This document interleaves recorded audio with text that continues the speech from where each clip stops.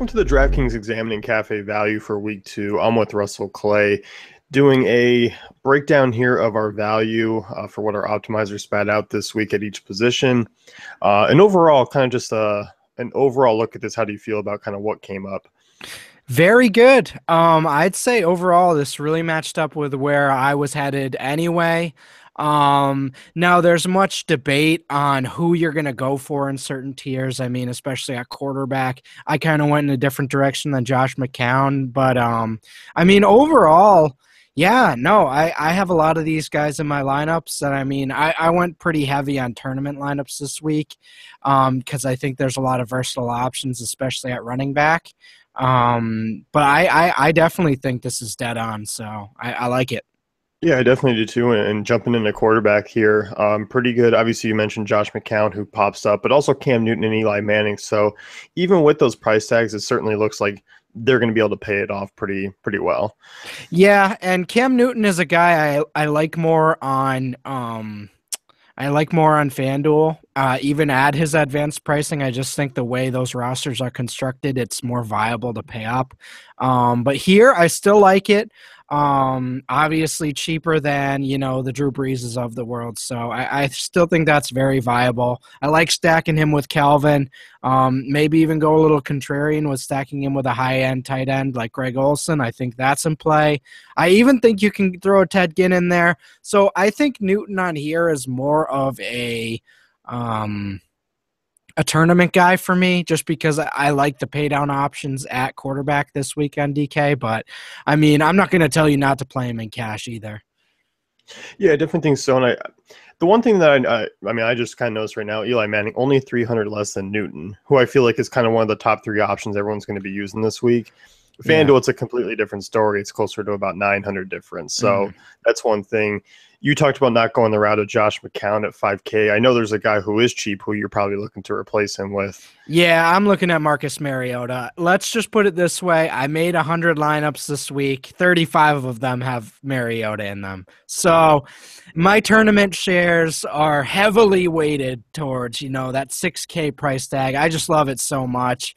So versatile. I love his matchup. Um, it's not really that I have something against Josh McCown. You know, if Mariota was seven, uh, I'd probably definitely be diving down to McCown. But I just think it's easy, you know, to avoid him because uh, you can fit in pretty much whatever you want, you know, with Mariota, who I think has much higher upside. So um, I love McCown for the tight end there, Gary Barnidge, who we're going to get into in a second. But overall, I, I just think it's easier to go Mariota in that spot. And and as you mentioned with Eli, yeah, I don't need to get into you know the Saints Giants matchup to you know um, talk you into that game. You're going to be playing that game, especially if you're in tournaments, especially if you're in cash.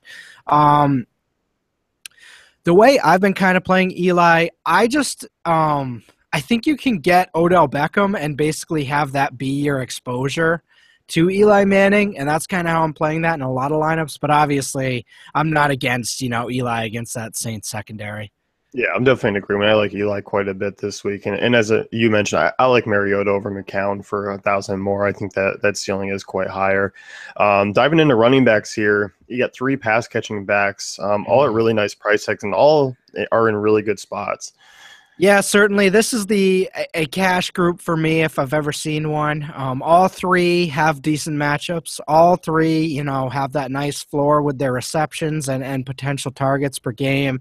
Obviously, Chris Ivory out for for TJ Yeldon this week, so um, we're going to see Yeldon getting basically feature carries like he did in week one against the Packers.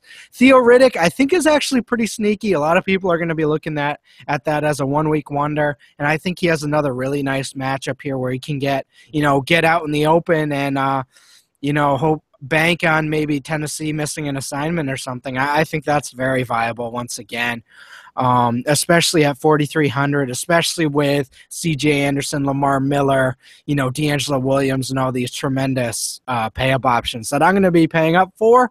Um, but if you're going in the direction of paying up at receiver, I think Theo Riddick's very viable. Um, as far as Danny Woodhead, cash option for me. I, I just think this is so easy. Um, I love Melvin Gordon. I am. I've I've loved Melvin Gordon since his first, you know, 50 carry season at Wisconsin. I've been a huge fan all the way through, but they just don't. They're going to run their offense through Woodhead. I mean, I I just can't. I just watched it happen all last season, and that's just clearly the way they're going to go again.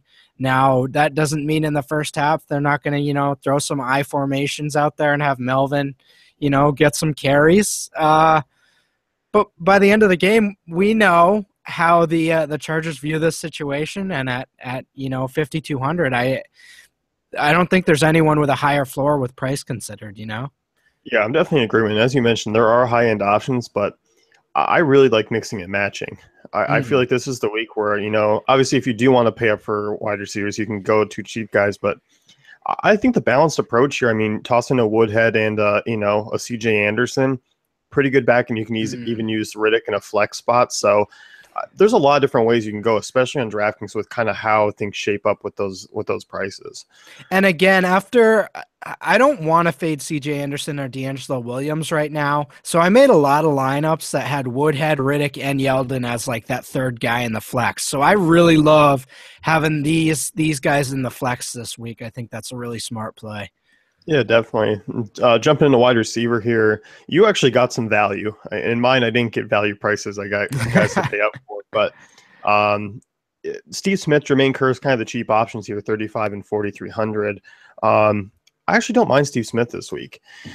I like Steve Smith. Um, let's talk about Jermaine Kearse, though, for a second. If Russell Wilson was fully healthy, I'd be in you know, 3,500 for Jermaine Kearse. You know, we saw week one, he's going to get you that 10 to 12 points on a, on a regular basis, maybe get that touchdown every four or five weeks and, you know, solidify that, that value. But with his ankle, I mean, I just think the Rams are going to be able to get pressure. That doesn't mean I, I think they're going to win.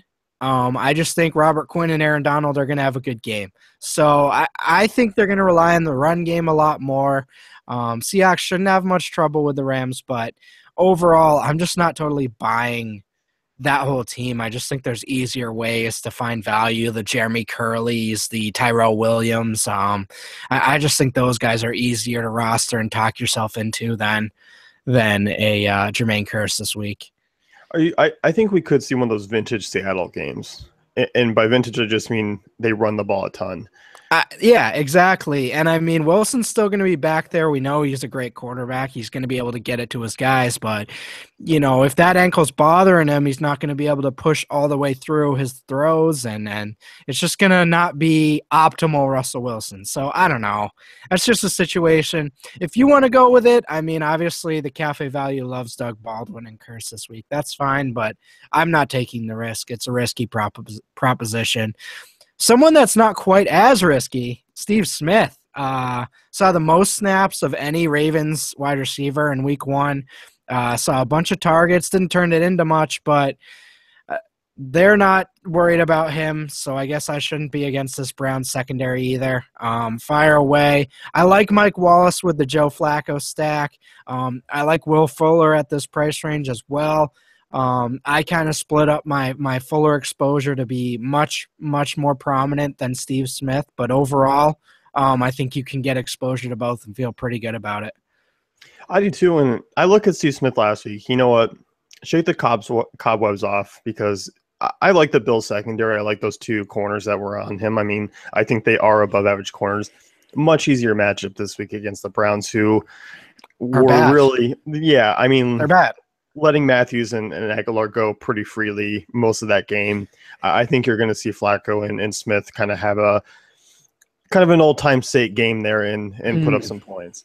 And again, you know, not many things in life are easy, but it doesn't take much to break down this this Brown secondary. We don't we don't need to you know dive into the advanced analytics of to tell you like the Browns defense and secondary is you know uh, bad. So you don't have to look deep into it too. Just know the Ravens have some really high upside receiving options this week.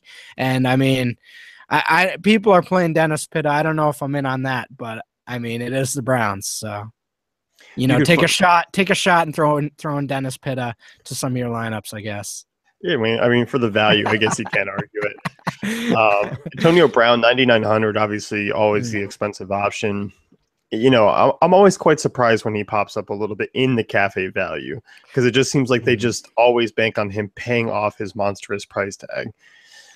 And you know what? It, over the last year with Ben Roethlisberger in the lineup, he pretty much does every single time. Um, it's just he's incredible. Uh, they can't, they literally can't cover him. And I mean, we can like think teams are going to double and bracket him. It just doesn't matter. Like it just doesn't matter. I mean, I'm assuming this is. I'm not saying he's on Jerry Rice's level, but I'm assuming this is what it was like when Jerry Rice was in his prime. It's just like, what are you going to do? Yeah. Oh, we should guard Antonio Brown this week. Oh yeah, we can't. We can't guard him. So he's just gonna, you know, get 120 yards and a touchdown. Okay, yeah, that's fine. Okay. I mean, that's what we're doing. He should get 150 yards every week. Like I, I don't know. That's just what I've seen as a sample of the last two years, and I, I don't know. You know, throw three guys on him, Bengals. Throw three guys on him, Bengals. That's the only way you can stop him at this point. so while he, he might not pay off this price, you know, he might just randomly not get a touchdown this week. But in terms of process, I just think we have to trust him at this point. Um, like doubting him just hasn't worked out when Roethlisberger's in the lineup for literally the last, you know, year. Yeah. So yeah, there's, I mean, there are slates where you fade him, you're, you're probably not coming close. That's right. It's just there. He has those types of games, and you know, I think the big question this week is, you know, if I am choosing one, Antonio Brown or OBJ, you know, you don't feel good about fading either. It's a tough position to right. be in. You you want to get them both in, but yeah, you don't feel good about having Antonio Brown without Odell Beckham, and you don't feel good about you know get, getting that extra 400 for Odell Beckham. But I mean, how much we don't know uh, it's tough. Both are tremendous options and probably the best, you know, overall plays on the slate. Yeah, definitely. I, I think the, the matchup with the Saints just has OBJ slightly ahead for me, just slightly. Yeah, that's where I'm headed to. Um, I had a lot of exposure to, to Odell Beckham as opposed to Brown. But I mean, if you're making 20, 30 lineups, you really want one in pretty much every lineup unless you're getting, you know, really goofy. Yeah, definitely. Looking at tight end here, uh, a lot of great values at tight end this week on DraftKings. Um, starting with Delanie Walker, 4,500. I know you and I are both very high on him in week two. Well, I think, uh, and Barnidge is the second guy here. I think we have very similar perspectives on both tight ends this week in terms of bad week one, but kind of optimistic still heading into week two. Um, obviously, I wouldn't be as optimistic if Robert Griffin were still the quarterback of the Browns. I'd assume he would continue to air it out more. But with McCown back, I mean, we saw how dominant Barnidge was with him last year. I think that should, that's a good bet, you know, at 4K. That's a good bet to bet on. I don't even mind him as a flex play um, just banking on hey maybe we see them shift back to Barnidge being a prominent you know weapon as a dump off guy with McCown. So I do like that quite a bit. And Walker, I mean, we could see Darius Slay. I, am not necessarily worried about him, but we could see him on Tajae Sharpe if that's the case. Um, I mean, we saw the Colts tight ends of Jack Doyle and Dwayne Allen score three. You don't badmouth Jack Doyle. You got that. Excuse Jack Doyle sounds like a a cowboy from like a Clint Eastwood film from the seventies. Jack Doyle. Yeah, but uh, um, overall, I mean, I, I think Delanie Walker is a great spot and cash game viable. Yeah, definitely. And they even tossed in a punt option here, Jacob Tamme, twenty nine hundred. You know, if things don't shape up where Julio's not hundred percent, Sanu's not hundred percent, I guess you can make a case for Tamme. I mean, yeah, I, I think so. Um, I mean, if you again, if you want to get OBJ and Antonio Brown in a lineup, how are you going to do it? Um, you can get Mariota in at at six, but if you still want a, a CJ Anderson or, or, something like that, you're going to have to pay way down somewhere. Um, and defense is obviously one alternative, but I think the other is tight end. Because um, as we mentioned, I mean, those two guys we like, both coming off terrible week ones. So as much as we like them, I mean there are indicators heading in the other direction as well. So yeah, I like Tamme as a punt. I, I think he's a nice value. Yeah, definitely. I mean, I think we're kind of focused on the rebound week, but you know, we, there to be known that the floor could be lowered in 2016 for those guys. Mm-hmm. Absolutely. Uh, in terms of defense, I, I, think you and I were pretty much in a disagreement with what came out for two of these teams. I, I, I won't say like I get the logic, you know, I get okay, you know, this Char- Chargers Jaguars game could be low scoring because, you know, these offenses are normally just scoring points when they're playing from behind. I just can't get behind it. I just see let, let's say the Jaguars are up 28 to 3, you know, in the third quarter. What does that mean? They're going to start to play vanilla defense and Danny Woodhead's going to get 17 receptions for 85 yards and you know Philip Rivers is going to end up throwing four touchdowns. Eh, you know that's just that's how both these teams work. So I have no confidence that the game flow of this game is going to hold up for either of these defenses. As we were talking about before the show, always a chance of a Blake Bortles, you know, pick six. So Chargers. I'm not against the Chargers fully, but I, I can't totally get behind these, especially in a cash game situation. Yeah, I think you know you and I were talking. It's like how do the Chargers pay off that price tag? And it, it seems like a pick six was needed. You know, yeah. You, you, you look at this total and and you know above twenty, you expect you expect the Jags to put up some points, whether it's garbage time, whether they just come out and, and start throwing the ball all over the place. But I, I get the bare min play. I get that. I don't know. I, I can't get behind either of those ones. Patriots 3K, that I can get behind. Yes, sir. Um, so the two two defenses I'm really running out there a lot this week are the Ravens and the Patriots. I think those are tremendous options. Um, as mentioned, Josh McCown is back at quarterback, which for for fantasy circles we get a little excited for you know the dump offs, but for a real football perspective, I mean that's a terrible thing if Josh McCown's your starting quarterback. so um, uh, I'm in on the Ravens. I'm in on the Patriots. They're both reasonable prices. They're not that much more expensive than you know the Chargers or the Jaguars.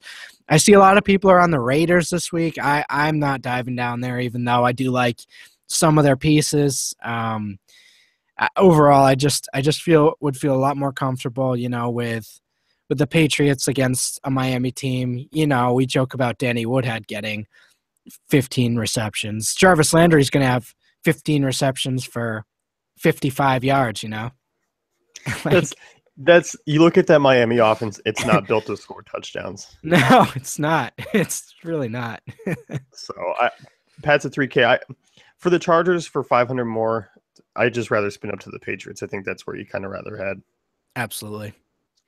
That's going to wrap things up with the examining DraftKings value for week two. Be sure to check out our optimizer and content at dailyfantasycafe.com. Also, be sure to subscribe to our YouTube channel and give us a couple of likes if you like what you see or you like Russell's beautiful face. Oh, oh they definitely don't like what they see, but I mean, maybe they like the content. All right, we'll see you guys in week three.